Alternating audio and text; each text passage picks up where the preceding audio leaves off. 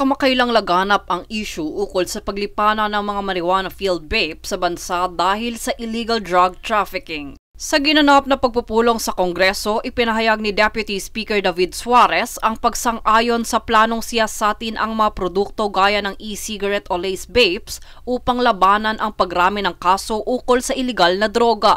With the proliferation of laced vape with with uh, THC or or with marijuana, this goes to show that uh, we need to improve the safeguards just so that uh, hindi ma-abuse yung uh, isang controlled substance dito po sa ating bansa.